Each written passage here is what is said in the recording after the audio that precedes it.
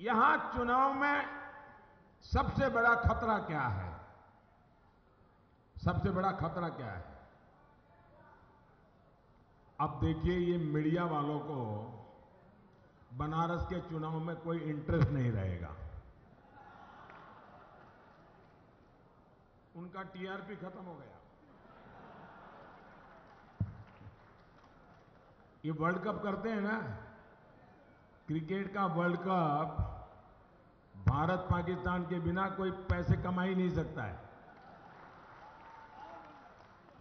यहाँ भी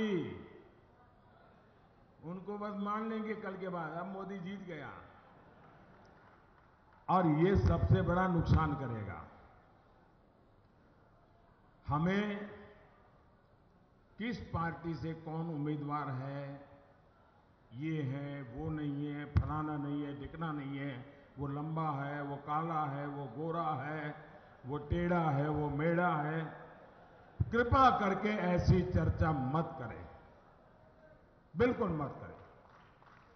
हर उम्मीदवार सम्माननीय है। हर उम्मीदवार आदरणीय है। वो भी लोकतंत्र को मज़बूत बनाने के लिए मैदान में आया है। वो हमारा दुश्मन नहीं है।